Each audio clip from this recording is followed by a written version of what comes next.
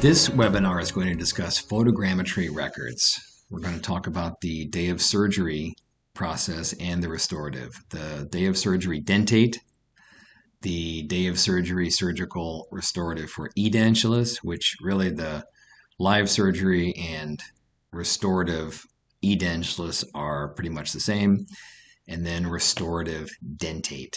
Let's start with a single dentate arch, and actually this can be thought of as a single or a double. Now, most of these cases, many of these cases, need to have the bite opened. So if you if you know that the Shimbashi measurement or the patient is overclosed, really need to send us these preoperative um, IOS scans, just these two right images. We'll articulate, we'll open the bite physically on an articulator. We'll make one of our JC try-ins, which is a hard, basically a hard uh, bite opening device. Send it to you to print or physically send it to you. And then you'll open the patient's bite, uh, equilibrate, make sure this device fits, send back an actual uh, PVS impression with the physical JC try-in. We will articulate, open the bite, and perform a setup to the new bite. So that's for overclosed situations. If we're going to go directly, uh, you know, that day, patient comes in, you've already pre-booked the surgery with us, then these are the records that you're going to capture pre-surgical. All right, so you put a TAD in, you've taken an IOS scan of the arch or arches. You know, if this is a lower, you're going to put a TAD back here in the retromolar pad area, uh, or perhaps in the labial, maybe in maybe here on the lingual, depending on what works for you. I know that sometimes the tissue is hard to keep on the outside of these screws when it's in the anterior and a lower. Uh, but you'll take an IOS scan that captures the TAD, and then you'll close the patient into the bite. If it's a JC try-in, fine. If it's uh, just natural teeth, the natural teeth, capture that and hold on to those files. You don't need to upload them yet. Then you go through the surgery. And when the surgery is finished, then you'll take another IOS scan. Now, this is going to capture the TAD again in the same spot. This should not have moved. If it came out, then we're going to have to use some other anatomical landmark, but that needs to be in there before the teeth come out and after the teeth come out. That is our reference for the bite. In this case, we could also use the molars that are still present. Okay, and so you're going to take a, an IOS of the scan bodies, the scan refs, and then you're also going to take the domino scan, right? The, the photogrammetry scan. You're going to export those files, right? Just as always. And then you're going to upload them to our laboratory through the portal on our website. So these are all the records that you're going to upload at once. They can come in these three uh, folders. We get the iMetric export or photogrammetry export, whether it's PIC or not. You're going to have a before and an after with the TAD. You're going to have an opposing and you're going to have a bite. If this is double arch, then there's a TAD on TADs on both arches and uh, and just scan the arches and we'll bring those into the software to marry with the pre-surgical bite and then uh, always take photographs. We want full face, full smile, and then we want an exaggerated smile. So we want to make sure we're putting the next set of teeth in the right place. So this is the package. You'll put them all in this folder, separated by these names, put the photos in there, zip this folder, and then you'll go to our website and upload. The scan TADs. The scan TADs are the screws that go into the palate or into the uh, retromolar pad area you know, or just just depending. Sometimes it's case by case. Sometimes it's how the doctor is taught. Uh, some doctors even take a PVS impression or an alginate impression during surgery, you know, before and after surgery. Sorry. So one is before with the TAD, one is after with the TAD. You really need to pour these up in stone and then scan the stone uh, because an IOS scanner is going to have a tough time getting inside of here. So if you found success with scanning impressions, fine, but really the best thing is pour them up. Otherwise, you're just taking IOS in the mouth. So here's two, right? And then there's two here. We've seen a lot of them with just one scan TAD. Uh, we also see them with a, a printable, uh, a printable resin material that is just disposable. So the screw goes to the resin and into the bone. That's that's nice too. Um, and of course, these have to be in the mouth before and after extraction and surgery. Uh, just putting it in before or just putting it in after does not work. These are the reference once the teeth are gone. Teeth are gone, we use this to orient the mouth back to the bite. All right, so that is dentate single and double. Let's go through a surgical or a restorative uh, uh, photogrammetry case. They're, they're kind of the same because you're going to use the same uh, prosthesis uh, if the patient doesn't have teeth, you know, or, or a prosthetic down the road. So this is a situation where the patient has um, upper and lower dentures. And we are going to convert them on the day of surgery into basically into indexes. Now think of what a denture gives you. It gives you the tissue, uh, or with a reline it will. It gives you tooth position, it gives you a bite, gives you vertical dimension. It gives us just about everything we need to know to make prosthetics. That means when you go through surgery, uh, you're going to follow some of the same principles. Now, if a patient is edentulous, we don't need the TADS uh, because we're going to use the scan bodies as the reference. So that means that you can either do it single arch method one day or you can do double arch. It does change the records a little bit. Uh, but at, at let, let's say you're doing both in one day, you can remove the teeth, put the implants in, go to the other arch, remove the teeth, put the implants in, and then you can uh, uh, basically wash impression the dentures to pick up the scan TADs. Just like that. Put them in occlusion, wash. This is all a reline in here. Both arches, a reline impression. And uh, then you'll scan the prosthetic 360 scan the lower prosthesis 360. You'll take the iCam scan records and export, or the photogrammetry records and export, and you'll upload it.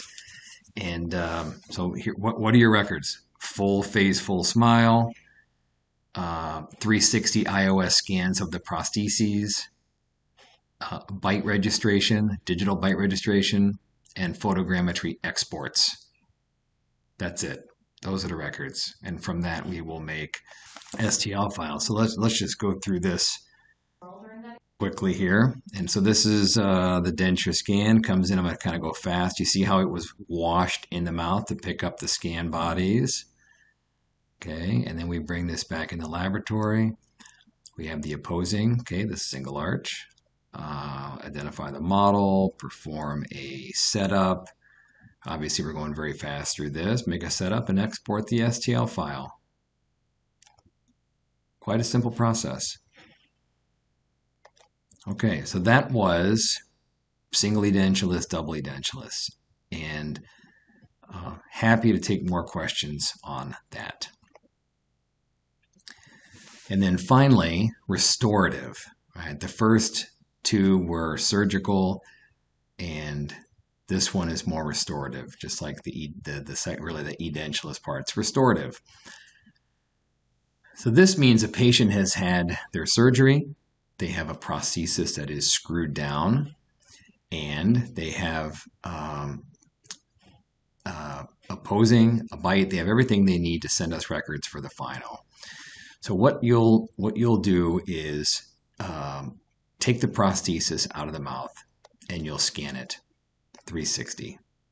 Hold it in your fingers, scan it.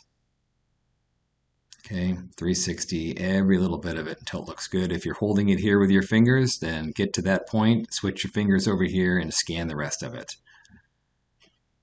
All right, the next one is while the prosthesis is out of the mouth, uh, scan the tissue with the scan references right? The scan body, you can use uh, Nobel healing caps, you can use uh, PIC or iCam scan references and save that. And then you'll scan the scan flags. You know, you could use the same scan flags from surgery if, if you have those from surgery, but um, things change. So I'd probably just go ahead and take a new scan flag, domino scan, and then seat the prosthesis in the mouth and scan the bite. Um, scan as much of the bite as you can. Get a really nice scan of this patient. Just has a little bit of contact here and a little bit of contact here. I don't know anything about this case, uh, but that's okay. Capture the bite, capture some of the tissue. There's your bite scan, and then uh, and then of course uh, export export the ICAM files or the PIC files. And this is what you upload. So this it, it would be in a in a folder. A folder has the healing collar scan. It has the iMetric export. It has the temporary 360 scan. It has the temporary scan in the uh, in the bite, the bite position. And then, of course, always a full face, full smile photo and an exaggerated smile. Put all those in a folder. You can combine the STLs into one folder, that's fine. And zip them and then upload them onto our website. All right, so that is a restorative, uh, restorative single arch uh, case.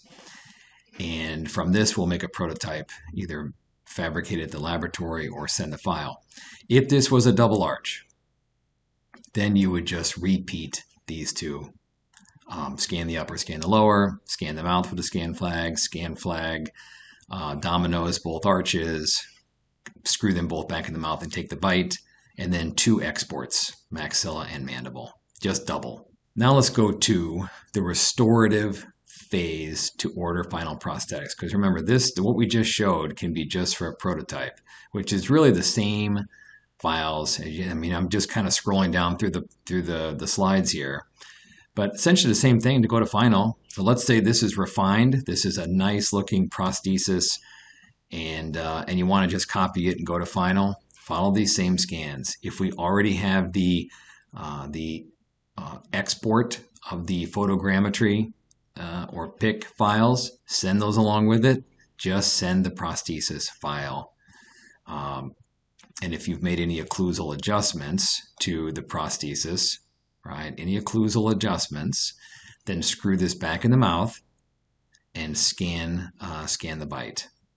Okay, and that way we can make sure we get the bite correct. And these will be your uploads to go to final. All right, so with those files, you have uh, you have three options. well, probably have more, but you have three options. We can just make you a monochromatic prosthesis, um, which you can print or we can print, just for a look-see. We can make a prototype with pink to make it beautiful. The patient can wear it home, uh, work out the occlusion, and of course we can go straight to final, all from the ICAM records, no copings, with mill zirconia direct to MUA. And then we can use these screws. Um, this is a this these screws are going to be for the prototypes, DAS, Powerball, Danrose, and those are just for prototypes. To go to final, um, we provide a zirconia bridge, but you'll use more conventional screws. Like if this is this is a Procera Nobel final prosthesis, uh, you will use the Procera final uh, parts. Um, either they're direct to multi-unit screw, which is a, like a conventional screw that you've always used, a prosthetic screw, or if it's direct to implant, then they have a little gold piece that goes into the prosthesis. It kind of snap fits in here, and then they use a longer screw. It's actually a, um, uh, a angled screw channel screw, a little different with that, thank you very much for watching our informational video on photogrammetry records.